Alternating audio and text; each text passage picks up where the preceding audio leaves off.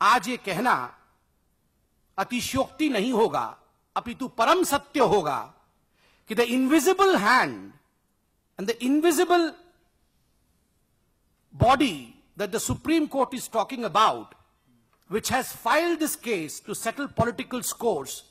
is no one other than mister Rahul Gandhi and the Congress party this is a new law in Indian politics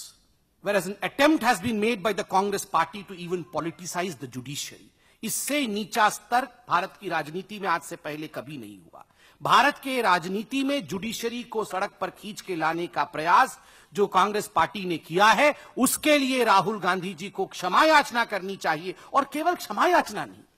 उन्हें शर्म से उनका sir झुक जाना चाहिए कि इस प्रकार का अटेम्प्ट उन्होंने भारत जैसे महान लोकतंत्र में, भारत जिसकी जुडिशरी इतनी जानी मानी जुडिशरी है, इंडिपेंडेंट जुडिशरी है, प्रसिद्ध जुडिशरी है पूरे विश्व में, उसके खिलाफ ऐसा षड्यंत्र किया है।